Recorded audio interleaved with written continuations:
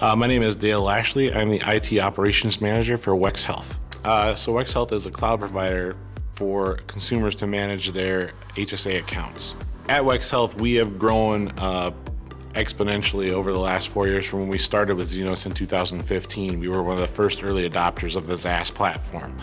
Um, we had some issues with it, but we've solved all of those. And with you, with our partnership with Zenoss, we've expanded it.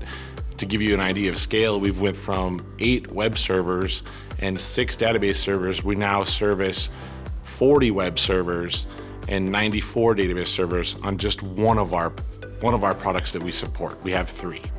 So we've used Zenoss, we've leveraged how we use it and we've adapted it to capture event logs that we never looked at before, which has helped us mitigate issues as they come in. We use it to alert on specific key phrases within those event logs. As an example, uh, uh, Microsoft IIS errors, where they would report but now we, through, through using the transform system within Zenoss, we, we will make those red and we will page out that. And that's a key component of keeping our consumers' portals active and available for them to use.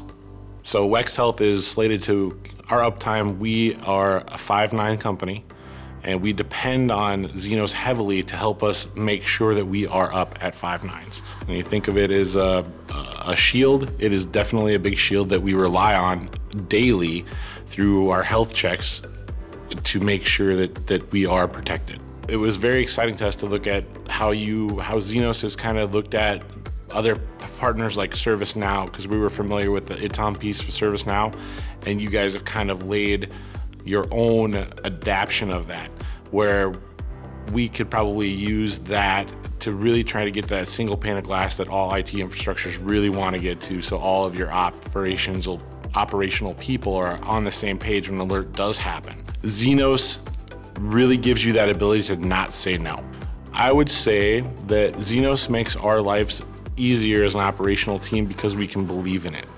We, we have been able through um, you know, using it for four years to know what's noise and what's not noise, and we trust it. And when it tells us that there's an issue, there's actually an issue. Zenoss is a complicated animal. With the complications of Zenoss, it is also that that is one of its strengths because it is complicated. You need to go into it with your eyes open, learn as much as you can because you literally cannot do. There isn't really anything you can't do with it. It is it is scalable, it's configurable, it's customizable. There's all of those things. It works great out of the box as well, but when you really want to get to certain get it to do things, you can have it do those things.